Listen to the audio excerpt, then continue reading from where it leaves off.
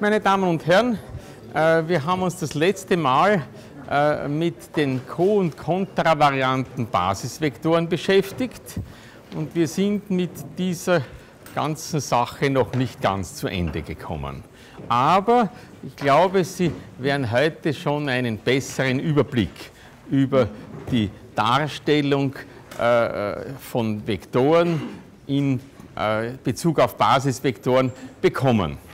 Äh, wir hatten das letzte Mal zu der ursprünglich vorgegebenen Vektorbasis, die wir als kovariant bezeichnet haben, eine zugehörige kontravariante Vektorbasis äh, definiert äh, mit einer bestimmten Definitionsrelation.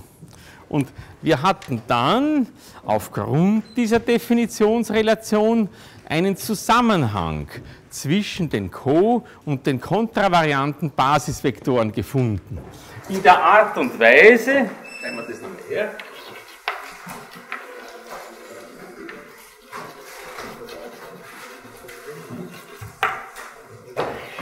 zwischen den Basisvektoren, dass wir einerseits hatten der i kontravariante Basisvektor lässt sich darstellen als GIJ mal dem jeden kovarianten Basisvektor. Also, man hat einen Zusammenhang zwischen den kovarianten Basisvektoren und den kontravarianten. Sie sind ja jetzt schon geübt im Lesen solcher Gleichungen. Da stehen natürlich viele Gleichungen.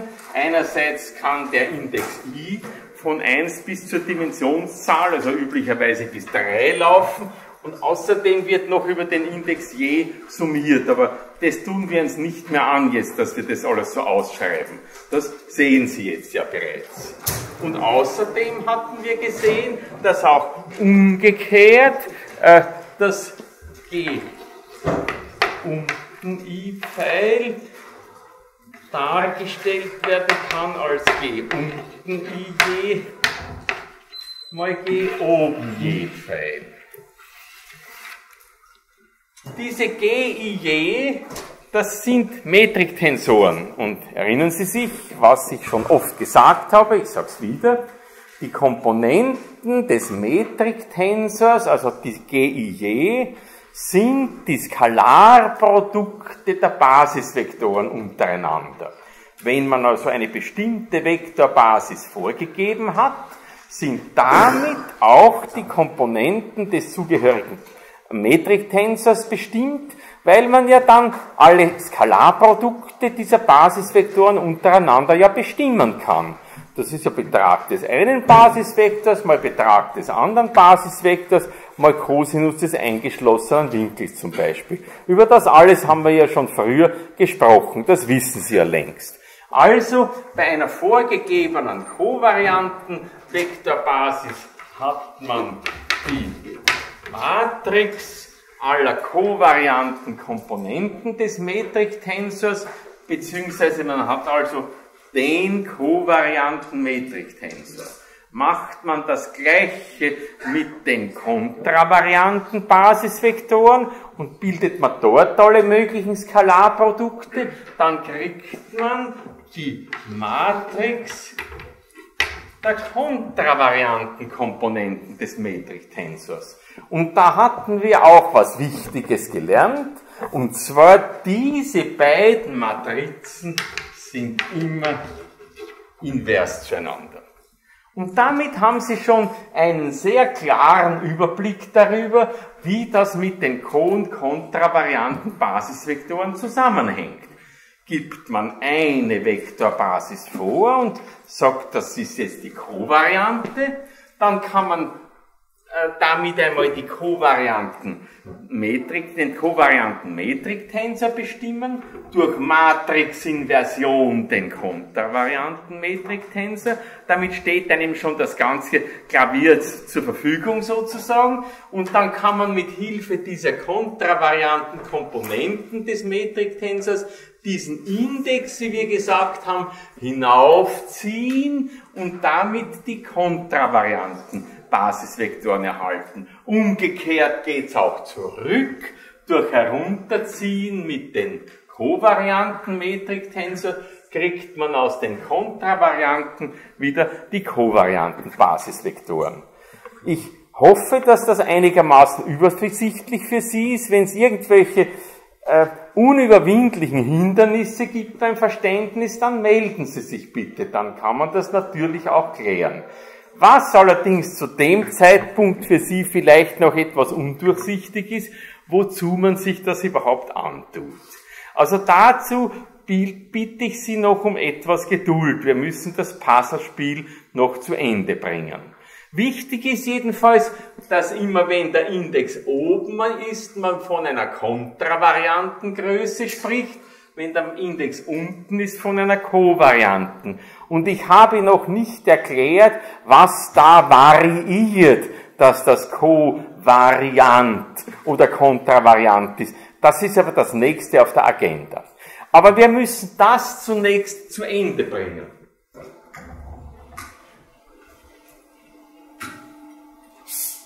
Es fehlt noch was Wichtiges. Und das werden wir jetzt zu Ende bringen. Und zwar, wir hatten ja das letzte Mal schon ein Beispiel gemacht, wie man das tatsächlich umrechnen kann. Das können Sie also schon. Aber jetzt kommt ja noch das Wichtige. Jetzt geht es ja darum, dass man irgendeinen beliebigen Vektor A-Pfeil jetzt entweder in Bezug auf die kovariante Basis oder in Bezug auf die kontravariante Basis darstellt. Und dann kommt man zu den sogenannten kovarianten oder kontravarianten Komponenten eines Vektors.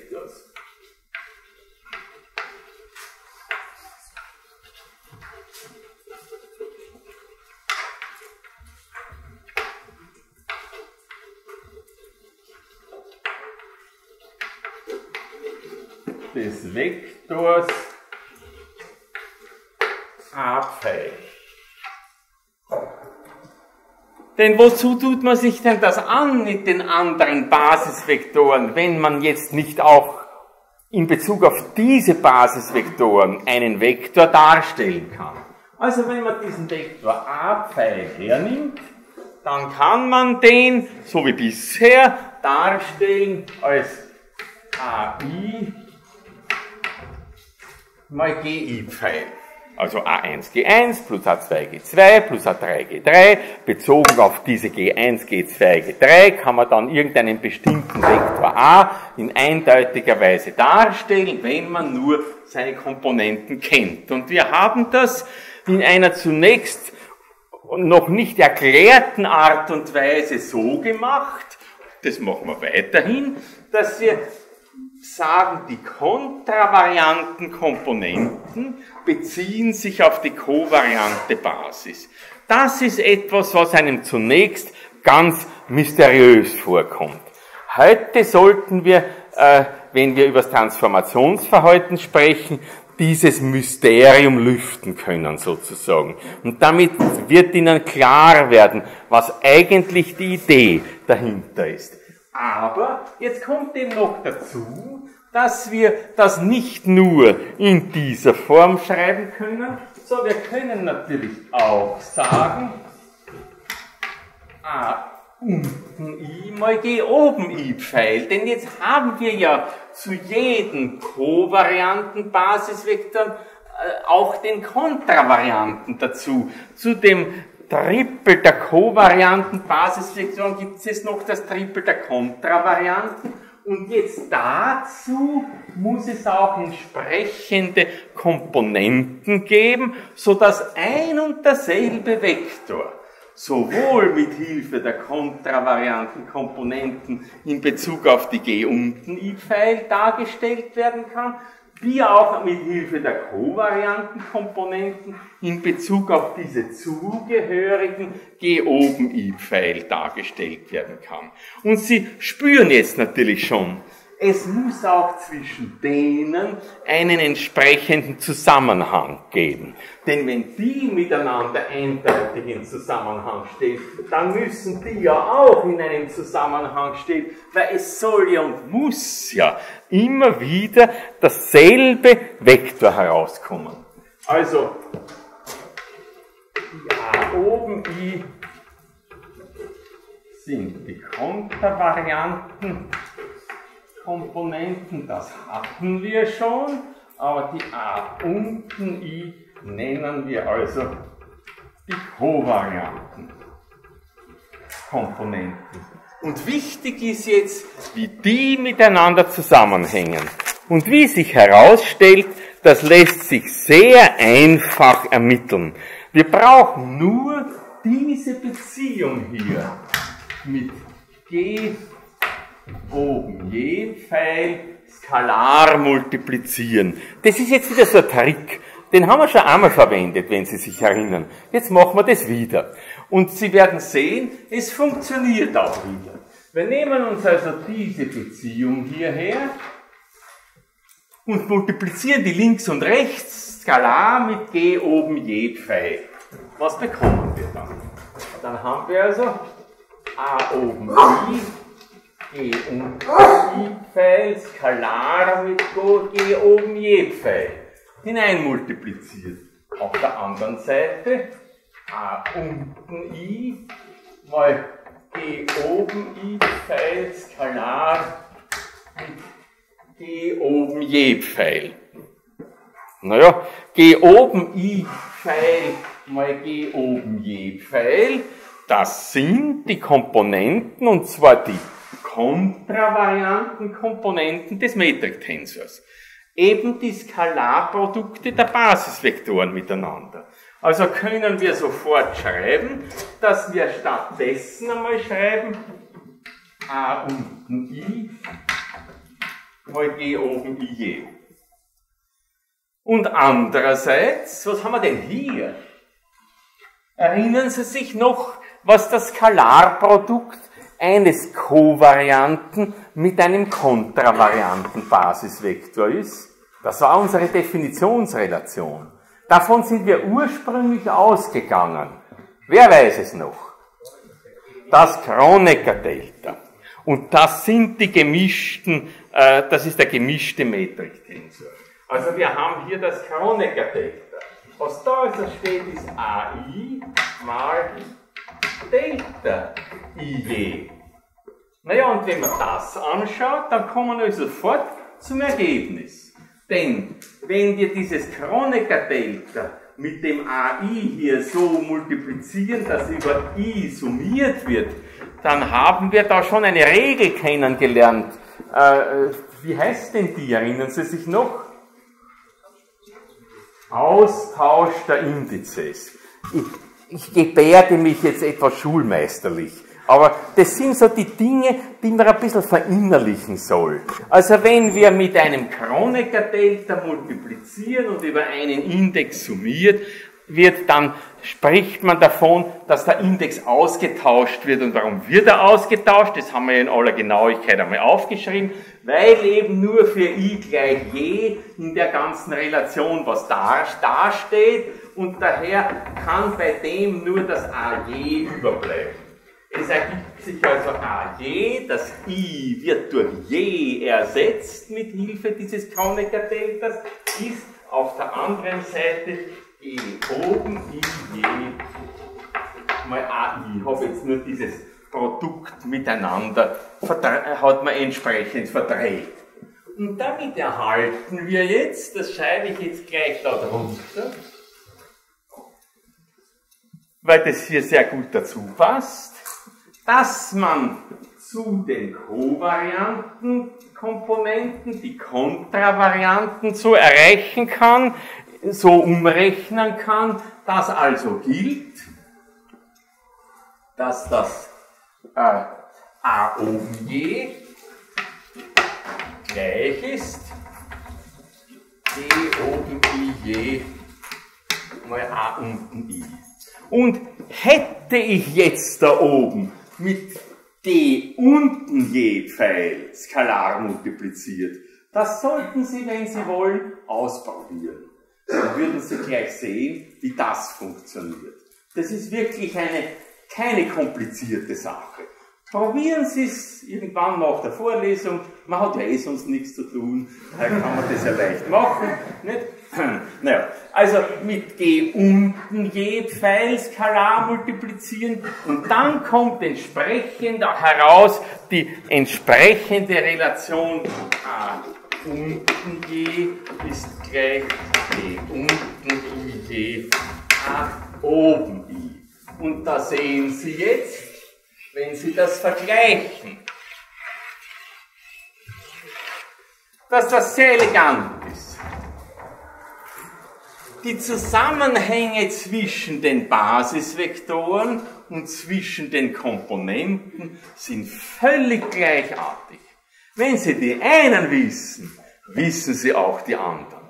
Das ist doch schön. Da braucht man sich nichts Zusätzliches merken. Hat man also von einem Vektor seine kovarianten Komponenten, dann braucht man nur so multiplizieren mit dem kovarianten, mit dem kontravarianten Metriktensor und kriegt schon die kontravarianten Komponenten. Nur zur Erinnerung, damit das nicht am Ende irgendwie komisch und undurchsichtig ausschaut. Da steht A1 ist G1 1A1 plus G1 2A2 plus G1 3A3. A2 ist A, äh, 1, 2, A1 plus, äh, A2, 1, A1 plus A2, 2, A2 plus A2, 3, A3 und so weiter.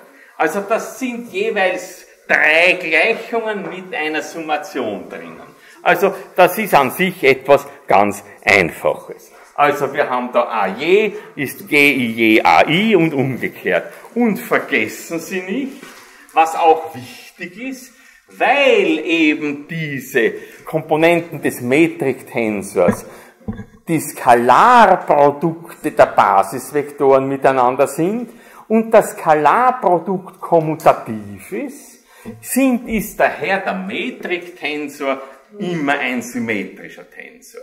Das heißt, ob da jetzt GIJ oder GJI steht, macht keinen Unterschied.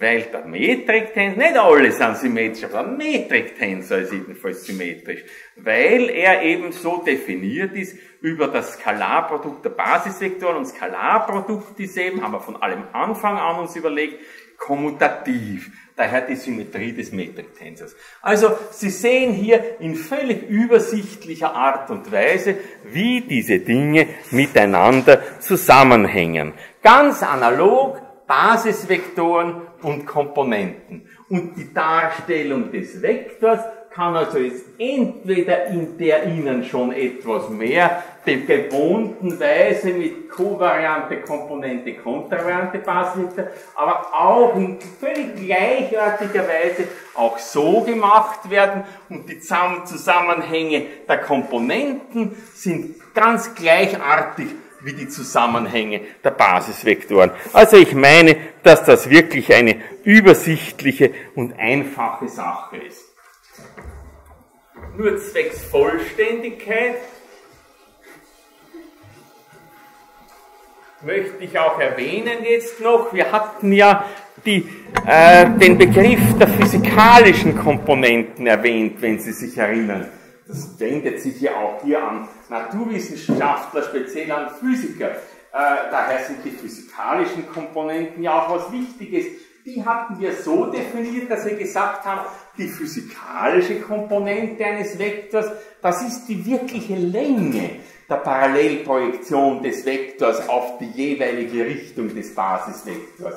Und das ist etwas anderes im Allgemeinen als die Komponente, wie es hier steht, weil ja diese Basisvektoren G unten I und G oben I Pfeil im Allgemeinen ja weder aufeinander senkrecht stehen, noch die Länge 1 haben. Wenn die jetzt nicht die Länge 1 haben, dann ist ein AI mal GI-Pfeil zwar diese entsprechende darstellen für A, aber die AI sind nicht wirklich die Längen der Parallelprojekte, sondern die müssen noch mit der Länge des entsprechenden Basisvektors multipliziert werden. Und das geht aber jetzt in beiden Richtungen. Daher werden wir jetzt auch kovariante physikalische Komponenten betrachten. Bisher hatten wir nur die Kontravarianten.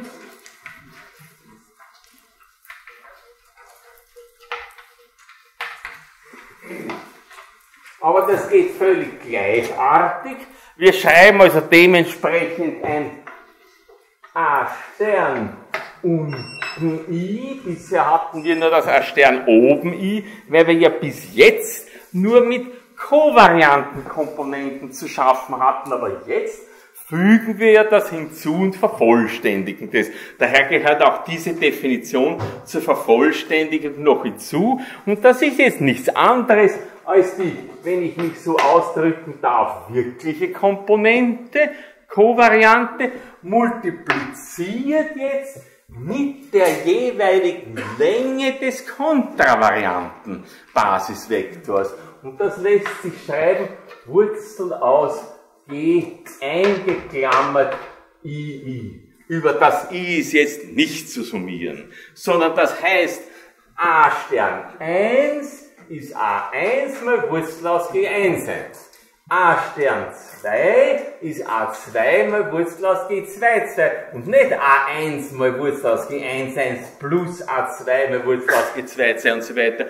Das hätte ja gar keinen Sinn in dem Zusammenhang. Erinnern Sie sich, da muss ich immer wieder versuchen, ein bisschen Ihre Erinnerung dort zu fokussieren. Wir hatten ja ganz am Anfang schon gesagt, wie wir über den Metriktensor gesprochen haben, in der Hauptdiagonale des Metriktensors, das ist also G1, 1, G2, 2, G3, 3 und meinetwegen bis Gn, da stehen die Quadrate der Längen der Basisvektoren. Daher ist die Länge des Basisvektors die Wurzel aus diesen Hauptdiagonalelementen. Und deswegen muss man das hier hinein multiplizieren, dass man diese wirkliche Komponente noch mit der Länge des zugehörigen Basisvektors multipliziert. Ich hoffe, dass Ihnen das in ähnlicher Weise sofort klar ist, wie wir das ja umgekehrt bei den kontravarianten Komponenten schon besprochen hatten und ich Ihnen das auch schon mit einem konkreten Beispiel an die Tafel gezeichnet habe. Also ich hoffe, es ist für Sie so verständlich. Ich höre kein Geklopfe, dann ist es also so. Also, jetzt haben wir schon einiges erreicht. Wenn Sie sich das anschauen, dann sehen Sie, sowohl bei den Basisvektoren als auch bei den Vektorkomponenten gibt es jeweils die Regel vom Hinaufziehen und Hinunterziehen von Indizes. Das ist jetzt nicht nur so ein komisches Herumgeschiebe, sondern das bedeutet natürlich Umrechnung von den kovarianten Basisvektoren auf die Kontravarianten oder von den kovarianten Komponenten auf die Kontravarianten. Aber man sagt halt, man zieht den Index hinauf und hinunter. Also hinaufziehen eines Index mit Hilfe des kontravarianten Metriktensors sowohl bei den Basisvektoren als auch bei den Komponenten. Hinunterziehen des Index, nicht? der geht ja da so hinauf, von da ist er unten, da ist er oben, da ist er oben, da geht er runter und entsprechend auch hier, den Pfeil, den schreibt man normalerweise nicht hin, das mache nur ich jetzt, damit Sie sehen, was ich meine mit ziehen. Aber dann weiß man das und braucht mehr den Pfeil hinmachen, man sieht ja, dass er hinaufgekommen ist. Dadurch ist er hinaufgezogen worden. Nicht? Entsprechend das Gleichartige auch bei den Komponenten. Es gibt also Rechenregeln.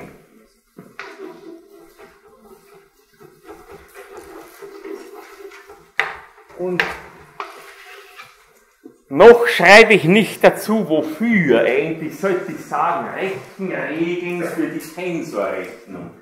Aber nachdem wir noch gar keinen Tensor wirklich definiert haben, sondern ich nur den Begriff Metriktensor als noch nicht hinterfragte Bezeichnung eingeführt habe, sträubt sie mich da nicht dazu sagen, Rechenregeln für Tensorrechen, also es sind's aber. Also Rechenregeln.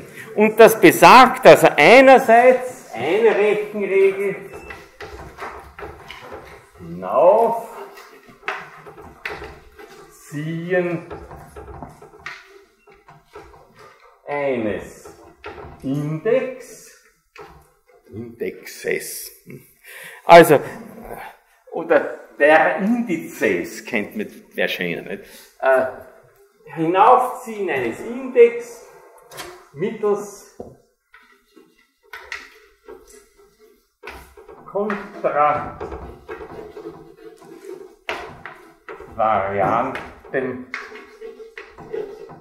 Metriktensor. Hinaufziehen eines Index mittels Kontravariante Metriktensor. Zweite Regel. Hinunterziehen. Schreibe ich nur Doppelpunkt. Kovariante. Metrik.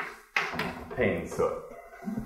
Herunterziehen von ursprünglich Kontravariantengrößen mittels des Kovarianten ergibt dann den, den Kovarianten Basisvektor, beziehungsweise entsprechend bei den Komponenten. Es ist überall systematisch so, dass wenn der Index unten steht, ist die Größe kovariant, wenn er oben steht, ist sie kontravariant. Und dann kommt aber noch hinzu, die Regel, die wir schon länger hatten, nämlich die Geschichte mit dem Austausch der Indizes. Das haben wir ja gerade vorhin da wieder verwendet und das verwendet man alle Augenblick in der Tensorrechnung. Austausch.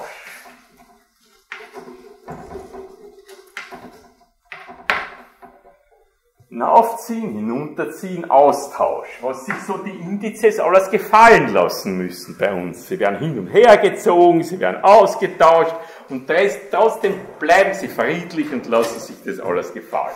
Also Austausch mit Hilfe des Kronecker-Deltas.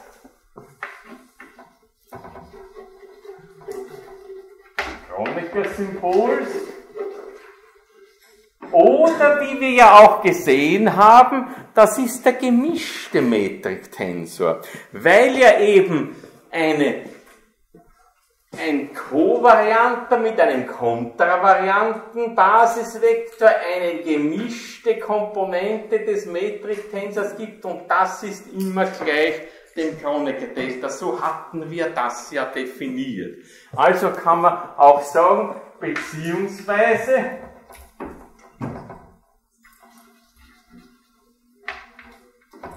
gemischter Metriktensor. Und ich glaube, Sie sehen daran, dass das Ganze sich jetzt schon relativ systematisch und übersichtlich darstellt. Gibt es dazu irgendeine Frage oder Bemerkung noch, was diese Rechenregeln hier betrifft? Die werden wir ständig benutzen. Das ist was außerordentlich Praktisches. Und da steckt ein bisschen was drin. Wir haben ja daran gearbeitet, dass wir das alles so herausbekommen. Und Sie haben jetzt auch schon gesehen, das ist nicht nur eine kosmetische Spielerei. Da kommt wirklich was anderes heraus. Und passt aber alles zusammen. Etwas ist noch dazu zu sagen, wir hatten das ja schon einmal erwähnt, wenn man eine orthonormierte Basis verwendet,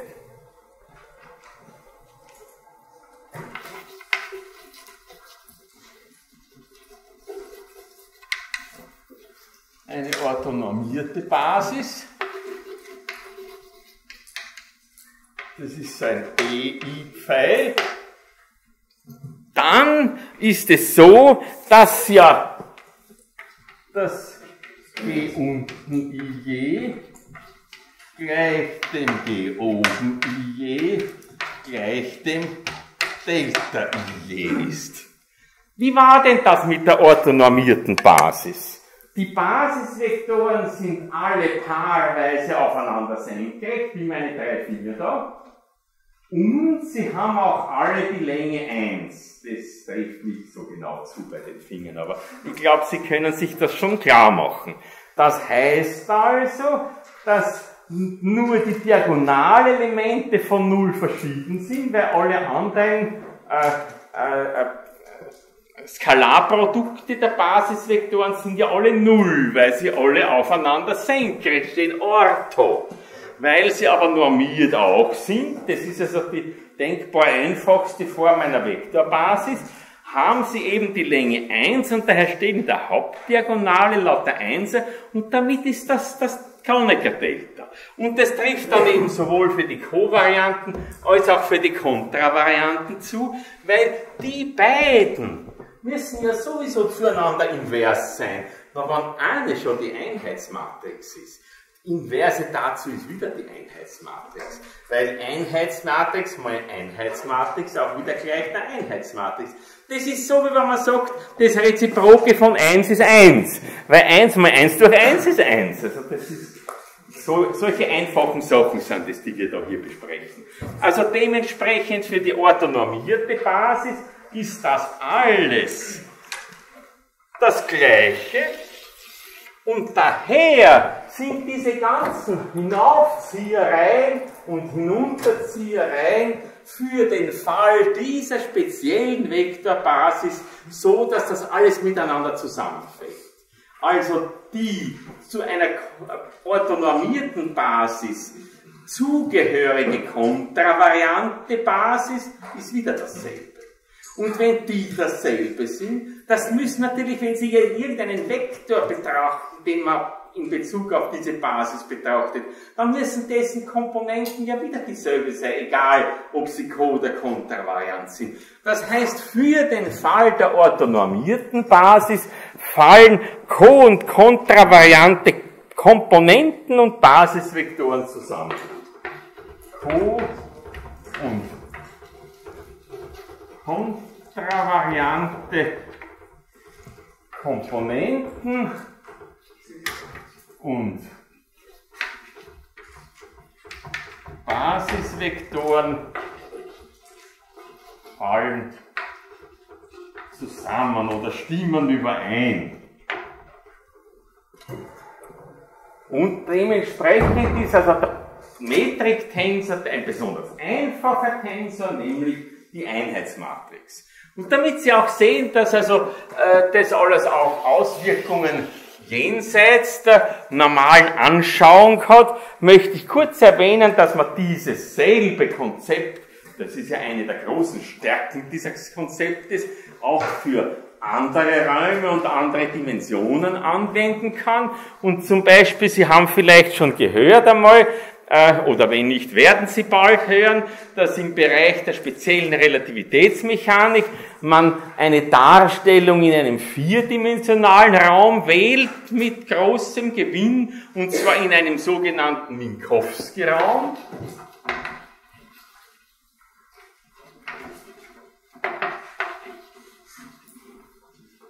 Und es ist durchaus klar, warum das vierdimensional ist, weil einfach zu den drei uns bekannten Raumdimensionen noch die Zeit als vierte Dimension hinzugenommen wird, so dass man jeden Raumzeitpunkt, wie man das auch oft großspurig nennt, einen Weltpunkt, durch die vier Koordinaten, drei Raumkoordinaten und eine Zeit- und Komponente und eine Zeitkoordinate darstellen kann.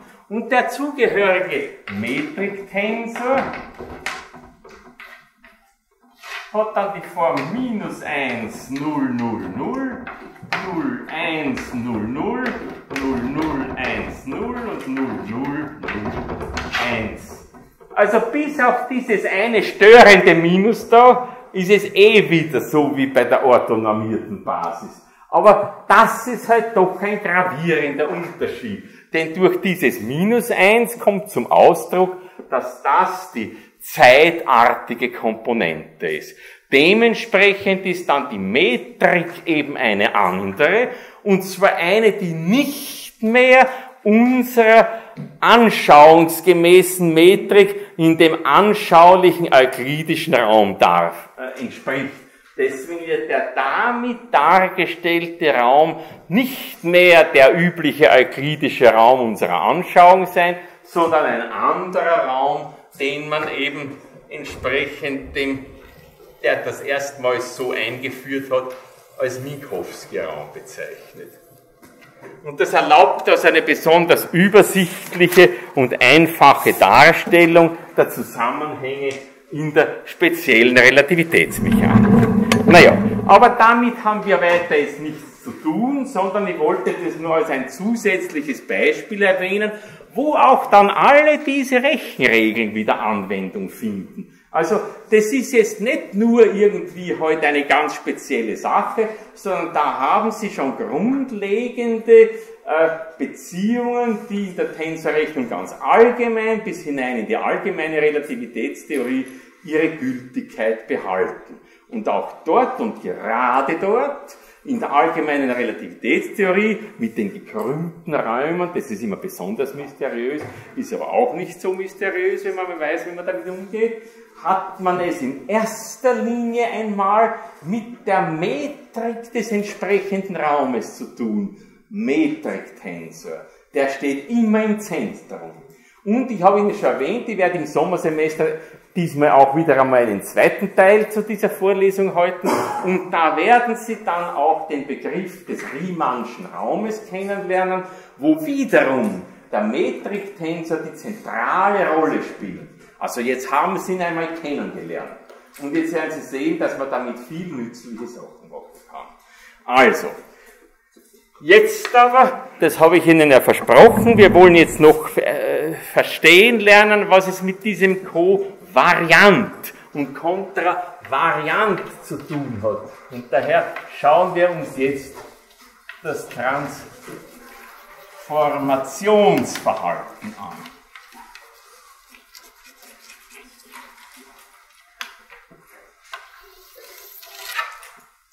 Das ist üblicherweise bei den Kolleginnen oder Kollegen weniger beliebt, aber andererseits wirklich ein zentraler Punkt. Und ich hoffe, dass Sie da jetzt folgen, beziehungsweise mir sofort widersprechen, wenn irgendetwas nicht klar oder vielleicht falsch aufgeschrieben wird, weil mit dieser ganzen Indexschreibweise tut man sich auf der Tafel auch nicht so leicht, sage ich Ihnen ganz ehrlich. Also schauen Sie genau zu, vielleicht kommen Sie mir einmal drauf, dass ich irgendwann mal was Falsches hinschreibe. Gut, also, warum Transformation? Weil es oft bei der Anwendung auf irgendein spezielles Problem, mit dem man sich auseinandersetzt, ein bestimmtes Basisvektorsystem gibt, das sich besonders gut eignet. Äh, oder weil man verschiedene Bezugssysteme verwenden möchte, von denen aus man einen gewissen Vorgang beobachten möchte. Gerade diese Idee ist schon bei der speziellen Relativitätstheorie von ganz großer Bedeutung, dass man, wenn man die Dinge aus unterschiedlichen Bezugssystemen betrachtet, man dann zu durchaus unterschiedlichen Ergebnissen kommt und dennoch handelt es sich um das idente System. Die Zeit verläuft anders, die Gleichzeitigkeit geht verloren, lauter solche Sachen passieren, die ganz schrecklich sind. Und damit dieses auf jeden Fall nicht mit der Anschauung zusammenpassen. Sie sind gar nicht schrecklich, sie sind nur mit unserer Anschauung nicht zusammenpassend. Weil wir halt so langsam sind und nicht wissen, wie das ist, wenn man in die Nähe der Lichtgeschwindigkeit kommt. Käme man in die Nähe der Lichtgeschwindigkeit? Brauchen wir nicht drüber reden, eh klar. Ne? Aber ist es eben nicht. Und daher gibt es so Sachen, an die man sich erst gewöhnen muss. Nicht? Naja. Also Transformationsverhalten. Und da geht es also jetzt darum, dass wir von einer bestimmten Basis wieder einmal ausgehen und gewöhnt sind wir ja von Anfang an die kovariante Basis, so gehen wir also auch jetzt einmal von der kovarianten Basis aus und wollen zu der eine andere kovariante Basis definieren, die halt irgendwie anders liegt. verdreht oder irgendwie unterschiedliche, einfach eine andere Basis. Und das machen wir in der Form, dass wir das miteinander in Beziehung setzen mit Hilfe einer linearen Beziehung.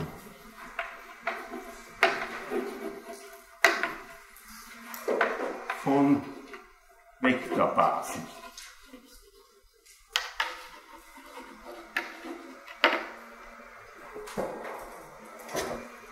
In folgender Weise. Wir schreiben GI Pfeil quer. Jetzt kommt da noch ein Quer dazu. Das soll also andeuten, dass es die transformierte Basis ist und der ite Basisvektor aus der transformierten Vektorbasis. Und wie hängt der zusammen? Jetzt mit den ursprünglichen, also nicht transformierten Vektoren. Vektoren. Ja, unterschreiben wir, das ist gleich einer Transformationsmatrix A unten quer, I je mal g je Pfeil. Da fällt mir übrigens ein, dass ich noch was Wichtiges vergessen habe.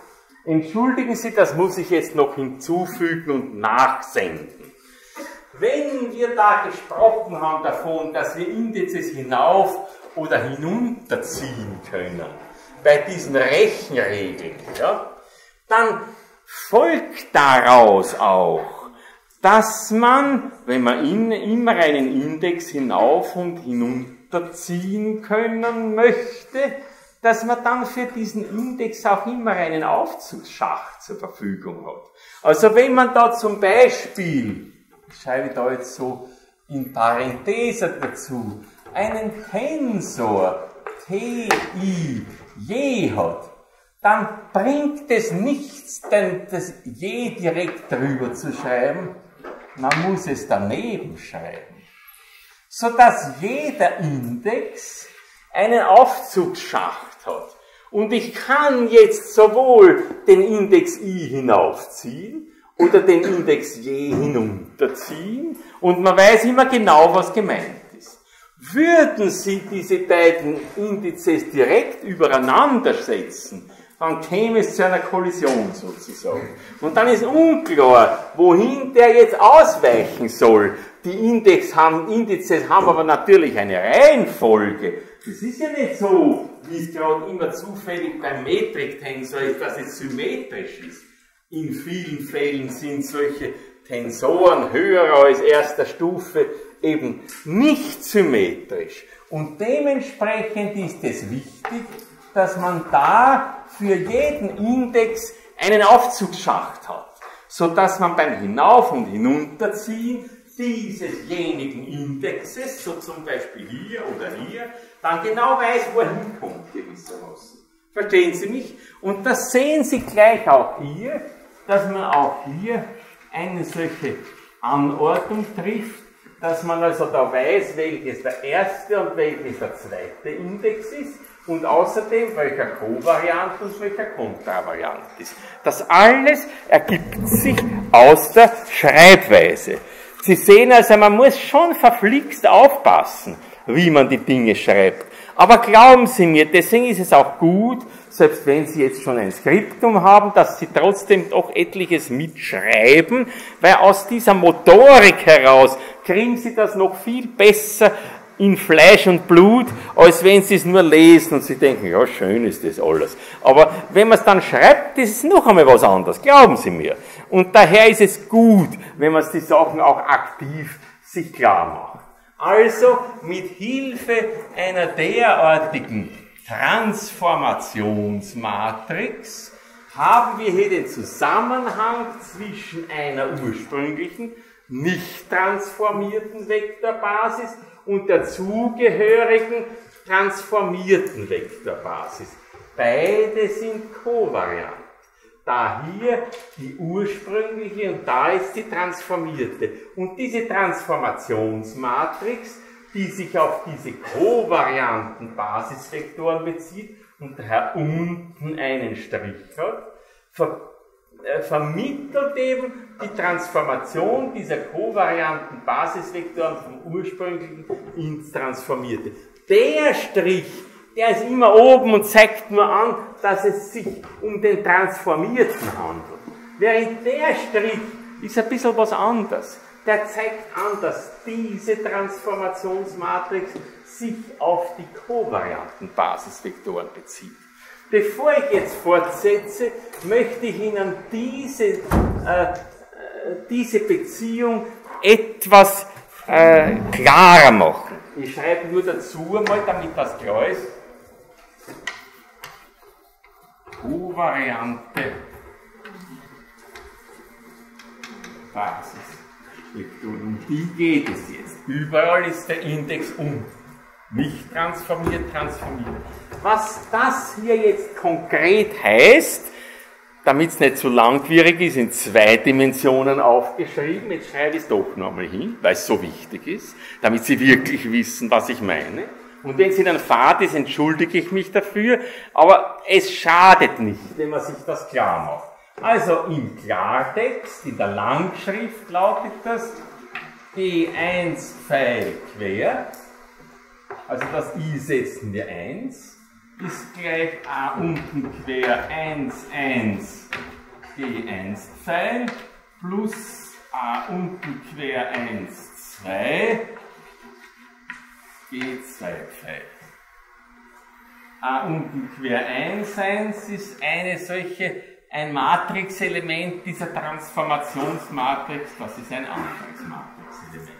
Sie sehen, in zwei Dimensionen wird also mit Hilfe dieser Darstellung der erste neue transformierte Basisvektor dargestellt in Bezug auf die vorher schon vorhandenen nicht transformierten.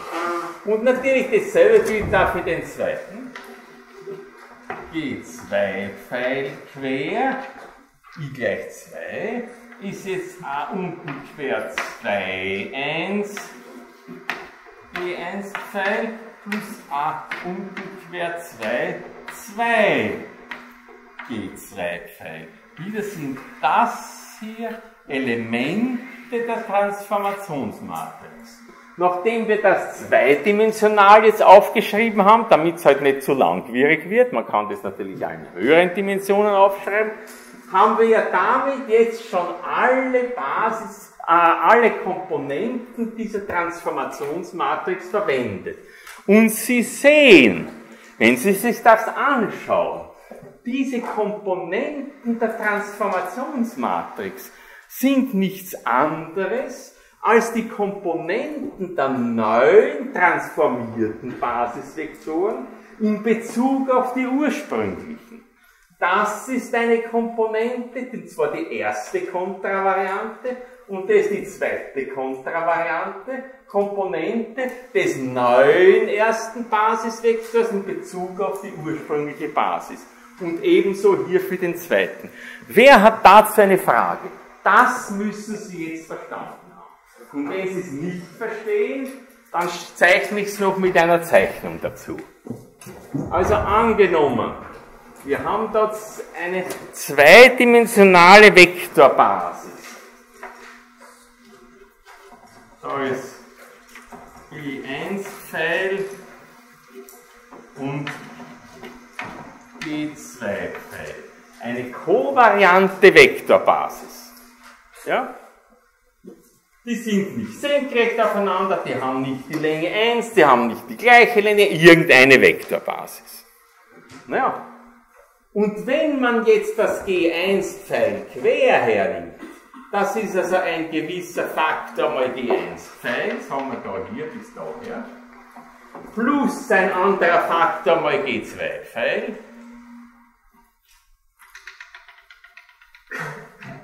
Dann ist das der neue Basisvektor. Ja rote Kreide, der neue Basisvektor G1 Pfeil quer. Der wird also dargestellt, ganz, ganz einfach in Bezug auf das, was man schon hat. Haben tun wir die ursprüngliche noch nicht transformierte Vektorbasis G1, G2. Und der erste transformierte Basisvektor liegt halt jetzt irgendwie anders und seine Komponenten in Bezug auf die ursprüngliche Basis sind diese zwei. Und natürlich der zweite dann, den kennt ihr jetzt auch noch dazu einzeichnen, der hat halt wieder andere Komponenten in Bezug auf diese ursprüngliche Vektorbasis. Sehen Sie das? Die Komponenten oder die Elemente dieser Transformationsmatrix sind die Komponenten der neuen Basisvektoren, der transformierten, in Bezug auf die ursprüngliche Basis. Wenn Sie diesen Satz gut verstanden haben, dann haben Sie viel verstanden. Deswegen frage ich Sie Hand aufs Herz, verstehen Sie, was ich meine? Das sollten Sie gut verstehen, bitte. Wieso haben wir jetzt für A die Indizes als unten und oben geschrieben und nicht als zweimal unten oder zweimal oben? Weil sich diese, diese, diese äh, Matrixelemente ja einerseits beziehen auf den ersten kovarianten Basisvektor, aber andererseits muss hier summiert werden. Es sind die kontravarianten Komponenten. Das entspricht ja der Darstellung A oben, I, G unten, I Pfeil. Das sind die kontravarianten Komponenten in Bezug auf diese ursprüngliche kovariante Basis. Die kontravarianten Komponenten des neuen kovarianten Basisvektors. Kontra und Co daher oben und unten. Ist das verständlich? Wir haben hier einen neuen, transformierten, kovarianten Basisvektor. Wir schreiben den Zusammenhang auf mit den bisherigen kovarianten Basisvektoren. Das sind die Komponenten. Und die zugehörigen Komponenten sind immer die kontravarianten Komponenten. Und deswegen schreiben wir da diesen Index oben, weil es ja eine kontravariante Komponente ist eines kovarianten Basisvektors. In Bezug auf die alte kovariante Basis. Ist verständlich, was ich meine? Diese Darstellung ist völlig analog zu der Darstellung, wo wir gesagt haben, das ist ein AIGI-Pfeil. Wobei das also AI, GI Pfeil. Die AI sind diese zwei Komponenten, A1, G1, das A2, G2. Die AI sind die Komponenten dieses Vektors. Das sind kontravariante Komponenten, weil sie sich auf die kovarianten Basisvektoren beziehen. Kontravariante Komponenten, weil sie sich auf den kovarianten Basisvektor beziehen, und zwar den Iten, der hier entsprechend vermerkt ist. Ja? Es kann also genauso gut sein, dass diese A Unterstriche 0 sind, oder? Also, naja, wenn die alle 0 sind, dann ja, haben sie keine sinnvolle. Also das eine A Unterstrich 1 ist 5, das andere auch Natürlich. 2 ist. Das, das, das, das sind Größen, die Sie sich wählen können. Sie wollen von einer auf eine andere Vektorbasis gehen. Und um das konkret durchführen zu können, verwenden Sie diese Transformationsmatrix. Und das hängt dann von den Gegebenheiten ab, was für eine Transformation Sie wollen. Das ist ganz allgemein hingeschrieben. Ja? Okay, also, dann kann ich Ihnen auch sofort ohne weiteres Nachdenken die zweite entsprechende äh, Beziehung hinschreiben, die man völlig gleichartig äh, da aufschreiben kann, jetzt für die kontravarianten Basisvektoren. Ich wiederhole noch einmal das, was dort oben hingeschrieben ist. Für den iten kovarianten Basisvektor GI-Pfeil quer ist gleich diese Matrix mit dem Strich unten für Kovariant, A, I, J, G, J, Pfeil. Genau das habe ich dort hingeschrieben. Und jetzt kann man in gleicher Weise auch schreiben für die Kontravarianten. G oben K Pfeil quer. Jetzt schreibe ich halt K hin, weil wir das gleich nachher brauchen werden, aber es ist ja nur eine Frage der Darstellung. Und da jetzt, weil es um die kontravarianten Basisvektoren geht, mache ich diesen Strich oben drüber. Das ist jetzt die Transformationsmatrix für die kontravarianten Basisvektoren. Also A oben quer, L, K, E, L Pfeil. Also, schauen Sie sich an, was das bedeutet. Die obere Beziehung hatten Sie ja schon gut verstanden.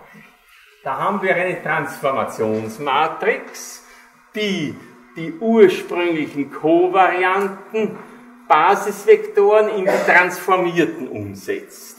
Das sind die entsprechenden Komponenten der neuen Kovarianten in Bezug auf die alten Kovarianten. Und jetzt machen wir dasselbe Spielchen auch für die diesen ursprünglichen kovarianten Basisvektoren zugeordneten kontravarianten Basisvektoren. Das kennen Sie ja schon. Die kann man hinauf und hinunter ziehen mit dem entsprechenden Metriktensor. Also muss es eine derartige Beziehung auch geben. Und da haben wir also jetzt entsprechend den ursprünglichen kontravarianten Basisvektor und da einen transformierten kontravarianten Basisvektor, aber die müssen auch miteinander zusammenhängen in entsprechender Weise.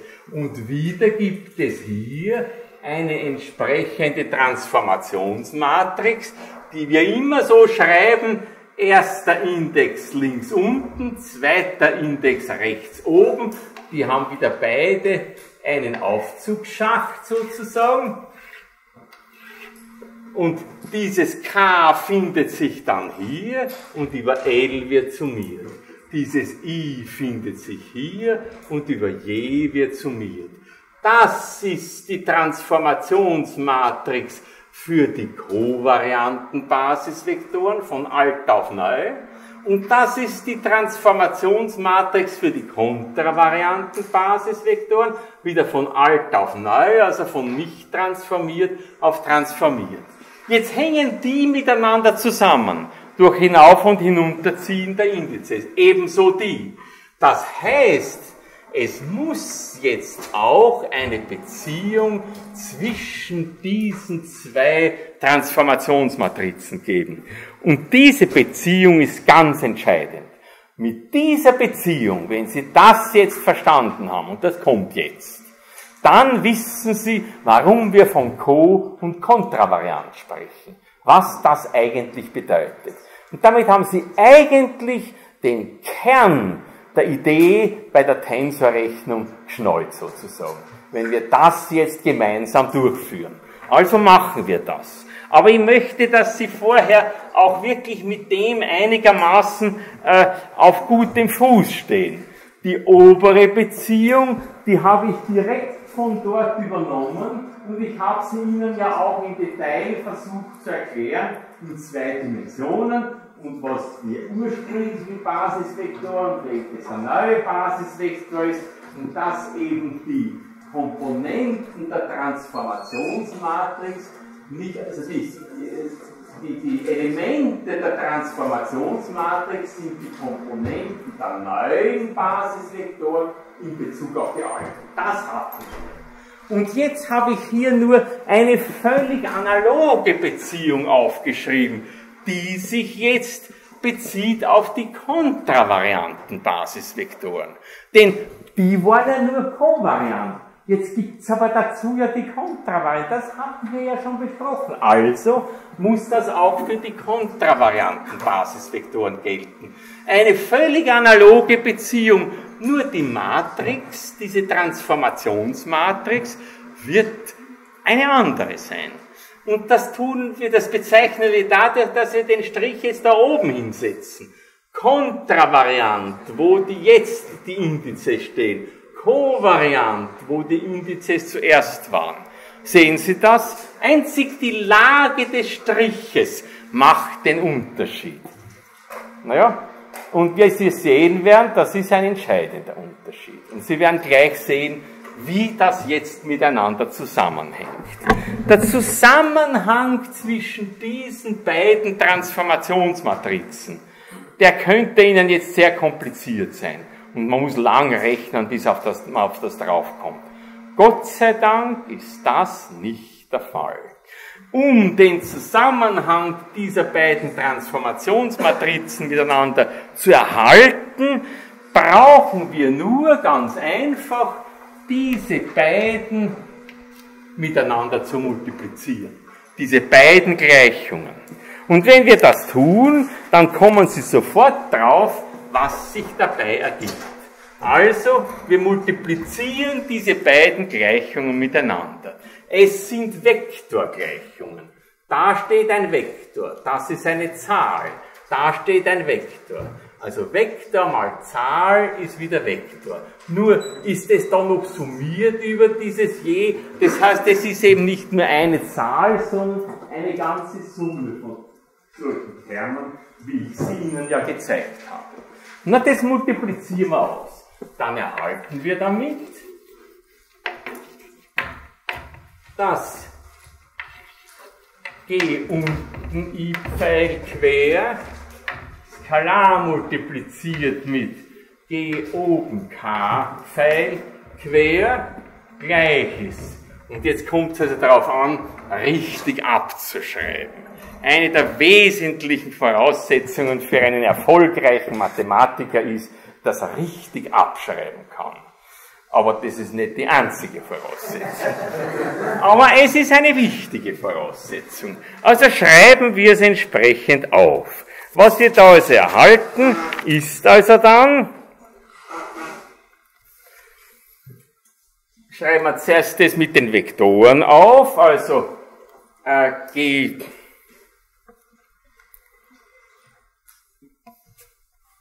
Moment, jetzt möchte ich das so machen, dass Ihnen das ganz klar ist.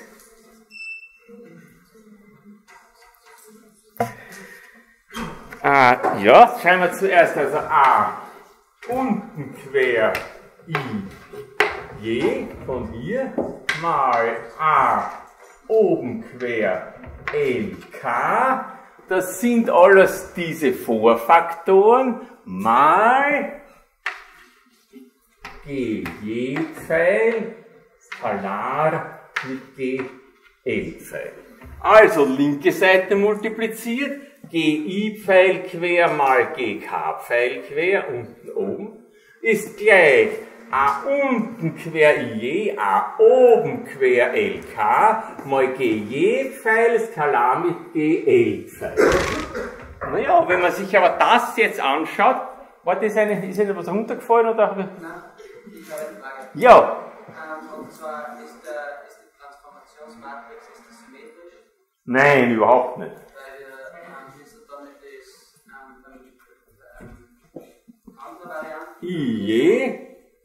Sein. Was? Müsste das K nicht dann auf der linken Seite sein? Warum? Ähm, weil wir haben ähm, beim oberen, also beim Kovarianten, haben ja ähm, das I in dem Fall, haben wir beide links stehen. Und da haben wir dann das U. Also das Das ist ja nur eine Bezeichnungssache. Wir haben das so bezeichnet, dass diese Transformationsmatrizen mit einer solchen Darstellung unterer linker Index, oberer rechter Index dargestellt wird. Immer ist das der freie Index und das der Summationsindex. Das der freie Index und das der Summationsindex. Und wir schreiben es halt immer so, dass links der untere und rechts der obere Index steht. Das ist eine Frage der Schreibweise. Wir schreiben es eben so auf. Verstehen Sie, was ich meine?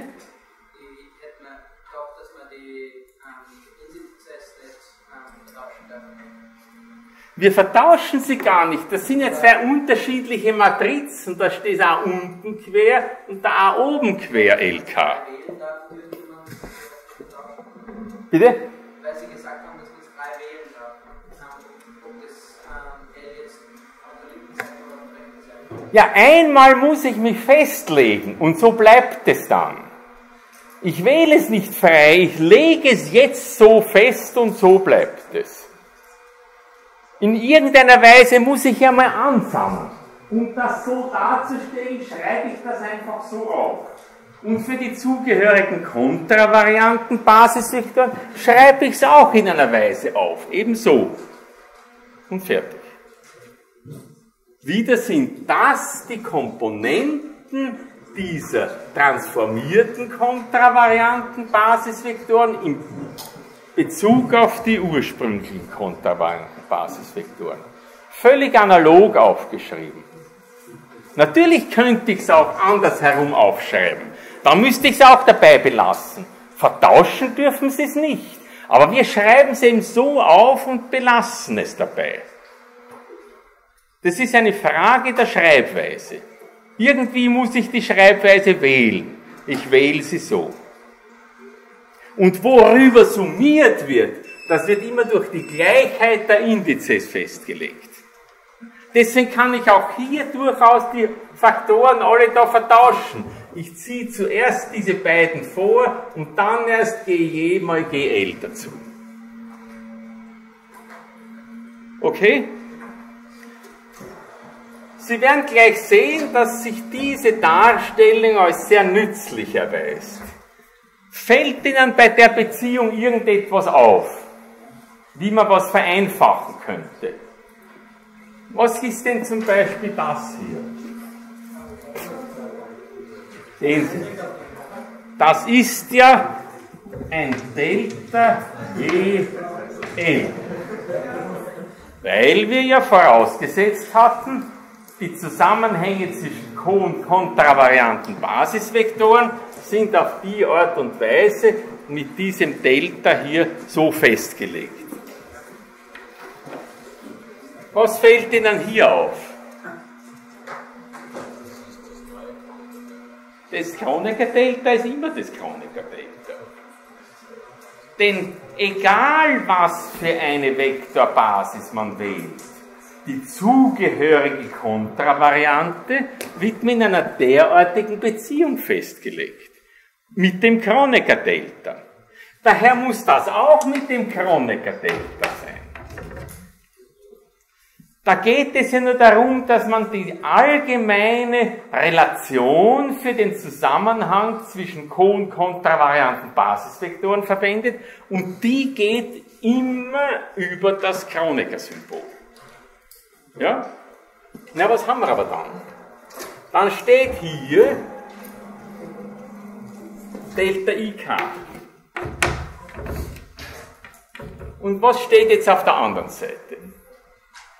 Da bleibt einmal stehen A unten quer I je, erster Index, zweiter Index, mal, und jetzt schauen Sie mal, da haben wir A oben quer L, K mal Delta je L. Na, was ist denn das, was man da jetzt mit dem Delta machen kann? Was für eine Regel? Austausch der Indizes. Dritte Regel da oben. Also haben wir da A oben quer. Über L wird summiert. Nur für L gleich je steht in der Summe was da. Daher je K. Sehen Sie? Und was erhalten wir hier? Das ist ein Ausdruck, wo zwei so doppelt indizierte Größen da sind, zwei Matrizen praktisch, wo über die inneren Indizes summiert wird. Das entspricht, wie ich Ihnen das letzte Mal gezeigt habe, einer Matrixmultiplikation. So sind wir ja auch draufgekommen, dass die beiden Metriktensoren zueinander invers sind.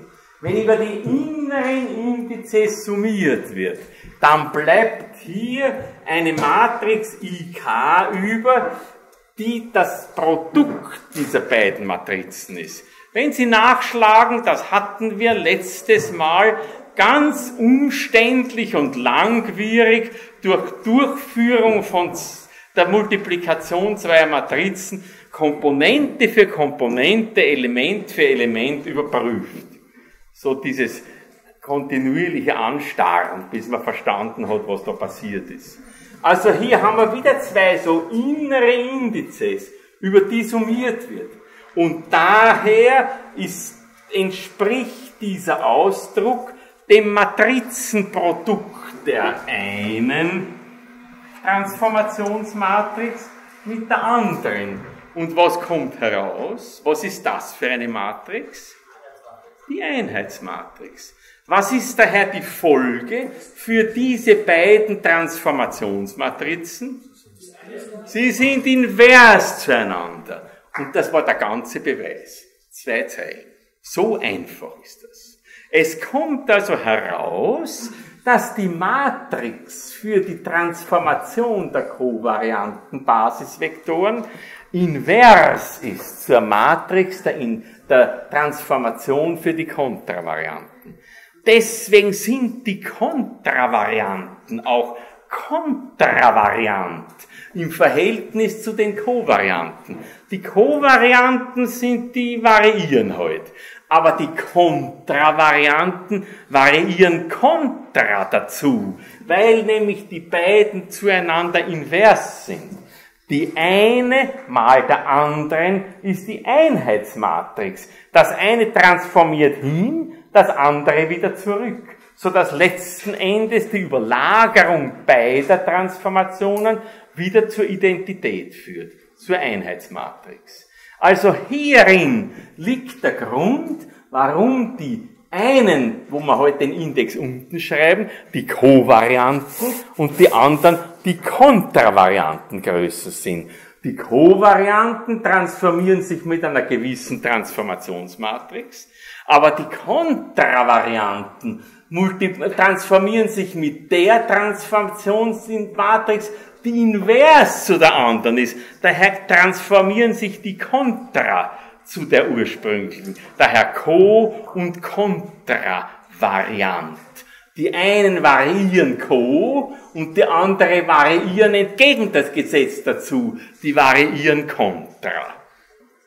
Ist verständlich, was ich damit sagen möchte? Es liegt daran, dass die beiden zueinander invers sind. Das schreibe ich jetzt, weil es so wichtig ist, noch einmal auf.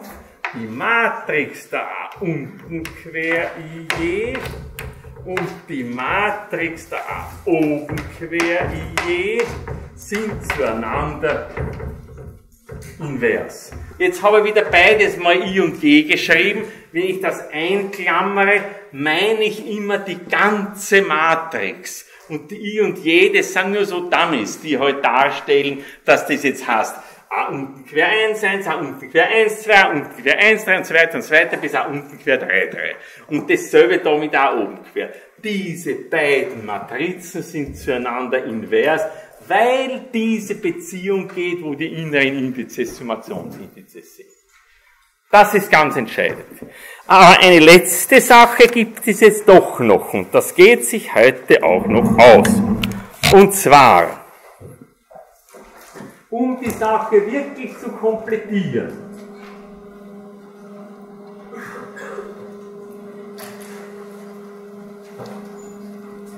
Ähnlich wie wir das bei den Kohn-Kontravarianten äh, Vektoren gemacht haben. Um das zu komplettieren, geht es jetzt darum, wir betrachten einen Vektor A-Pfeil. Jetzt schreibe ich groß A-Pfeil, damit es sich von diesen kleinen A's von den äh, Transformationsmatrizen unterscheidet. Und der lässt sich also jetzt, jetzt ist es also eigentlich schon fürchterlich, nicht? In verschiedenen Weisen darstellen. Dieser Vektor A-Pfeil, den kann man einmal darstellen in der Form A-J-G-J-Pfeil.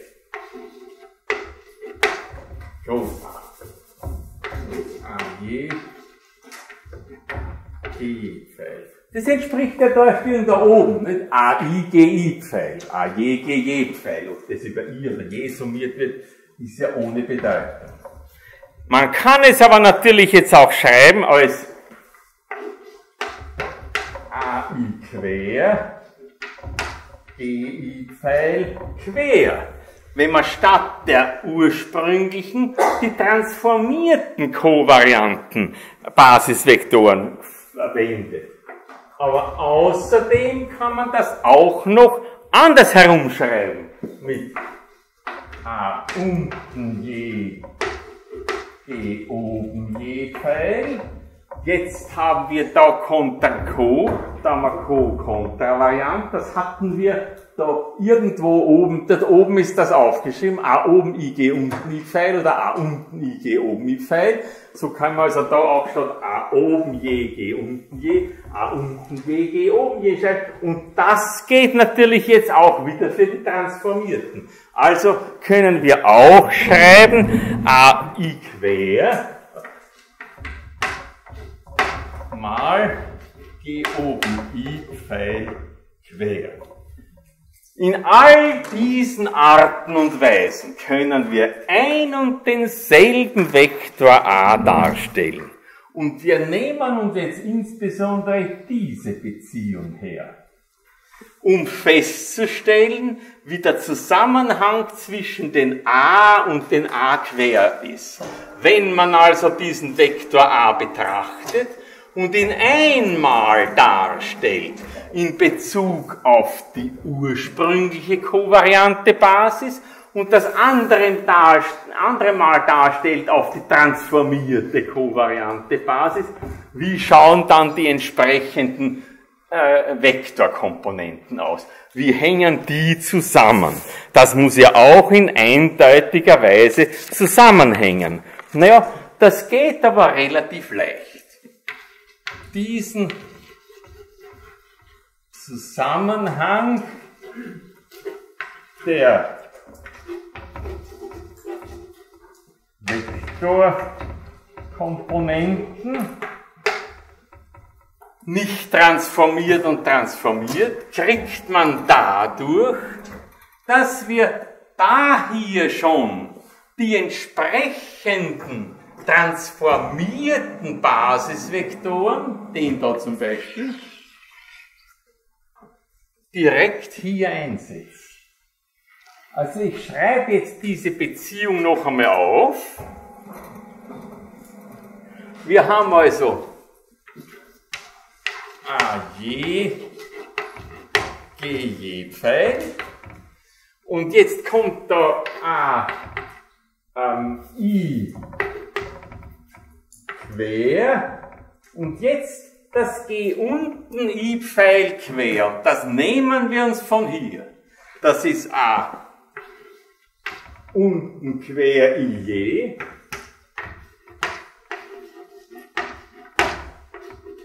GJ-Pfeil. Sehen Sie, dass wir das einfach von da drüben genommen haben.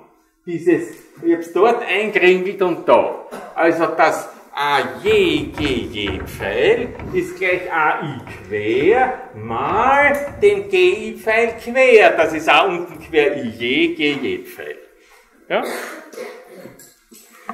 Jetzt sehen Sie aber, da haben wir Komponenten in Bezug auf GJ Pfeil und da haben wir ebenso Komponenten in Bezug auf GJ Pfeil. Und das muss dasselbe sein.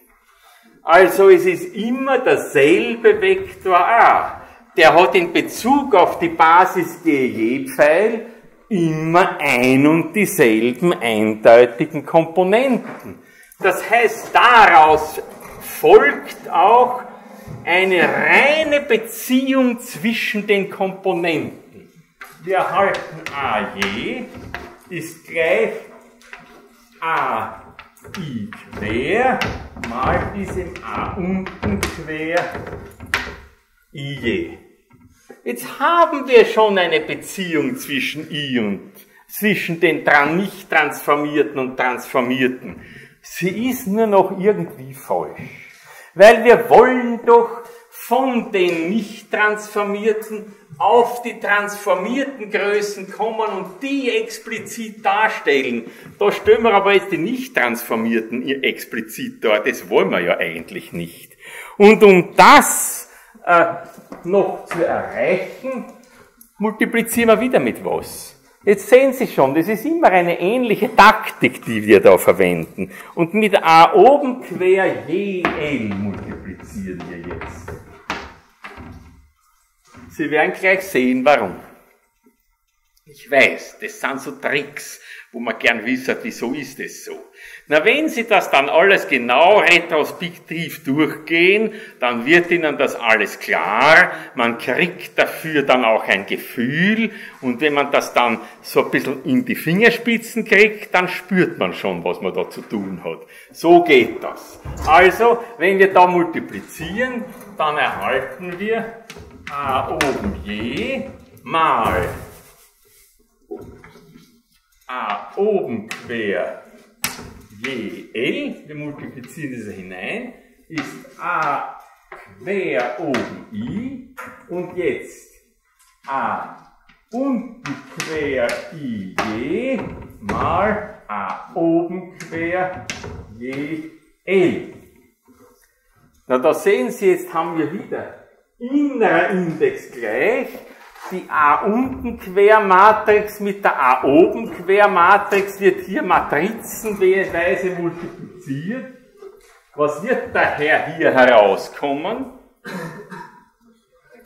Das Kronecker-Delta so wie da. Wenn wir über den inneren Index summieren, entspricht das der Matrizenmultiplikation dieser zwei Matrizen und das ist immer die Einheitsmatrix. Es bleibt daher stehen, Delta I L. Und über je wird summiert. Sehen Sie das? Jetzt haben wir nur verwendet, was wir da gerade erhalten haben, dass diese beiden Matrizen, die mit Strich unten und Strich unten zu, äh, oben, zueinander invers sind. Nun, wenn wir das jetzt ausführen, dann erhalten wir als Ergebnis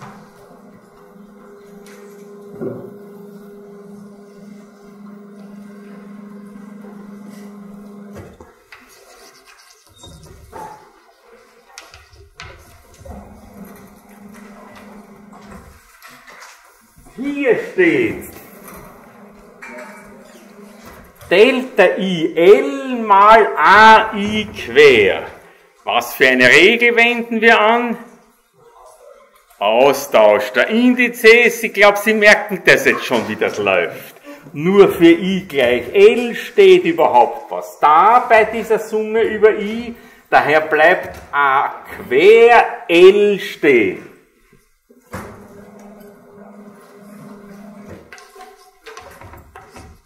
A quer oben L. Ja? Das I wird durchs L ersetzt. Und auf der anderen Seite haben wir stehen A oben quer je L A je.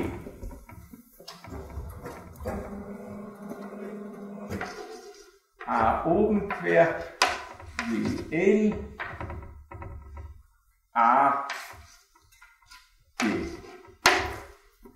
und schauen Sie, es zeigt sich jetzt, dass dieses Transformationsverhalten mit Strich oben für die kontravarianten Indizes ganz genau gleich ist wie das Transformationsverhalten für die kontravarianten Basisvektoren. A oben quer L, K ist GK quer. A oben quer je L, also über A je und da steht L, dieselbe Beziehung, nur die Indizes heißen ein bisschen anders. Aber das ändert nichts an der Langschriftdarstellung. Wenn Sie das in Langschrift aufschreiben würden, ist das natürlich langweilig, aber es kommt dasselbe heraus, ob Sie das jetzt so schreiben oder so. K ist der freie Index, der wählbar ist von 1 bis zur Dimensionszahl hier heißt er halt L, und über je wird summiert von 1 bis zur Dimensionszahl. Also Sie sehen, ganz wichtig, dieser Zusammenhang ist völlig gleichartig wie bei den Basisvektoren. Und analog ergibt sich, dass das A unten quer, dass das A unten L quer,